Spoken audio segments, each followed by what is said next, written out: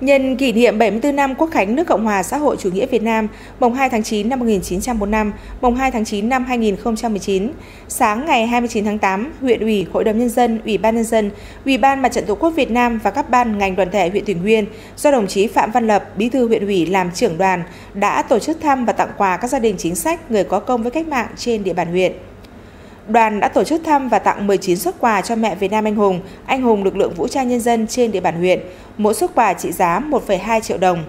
Món quà tuy không lớn về vật chất nhưng chứa đựng tấm lòng của Đảng bộ, chính quyền và nhân dân huyện nhà, tri ân những hy sinh xương máu của các thương binh liệt sĩ đã góp phần bảo vệ quê hương đất nước, đem đến sự bình yên cho chúng ta ngày hôm nay. Tại những nơi đến thăm, các đồng chí lãnh đạo huyện đã ân cần thăm hỏi sức khỏe, đời sống bà mẹ Việt Nam anh hùng, anh hùng lực lượng vũ trang nhân dân, đồng thời bày tỏ sự biết ơn đối với những công lao to lớn của các gia đình chính sách trong sự nghiệp đấu tranh giành độc lập, tự do và bảo vệ Tổ quốc.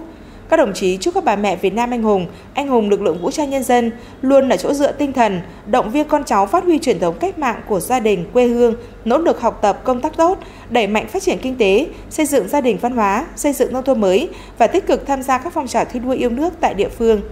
Các đồng chí lãnh đạo huyện cũng khẳng định việc quan tâm chăm no cho gia đình chính sách người có công với cách mạng là truyền thống đạo lý tốt đẹp của dân tộc ta, đồng thời là tình cảm, trách nhiệm của mọi người dân.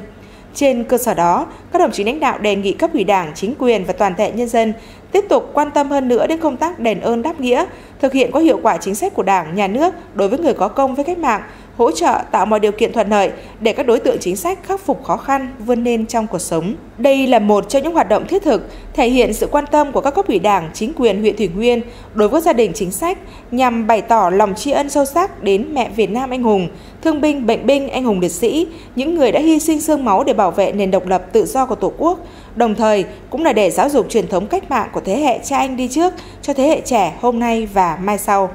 Trong đợt này, huyện Thủy Nguyên đã tiếp nhận và chuyển quà của thành phố là 19 xuất quà cho các gia đình chính sách người có công trên địa bàn huyện, mỗi xuất quà trị giá 5 triệu đồng.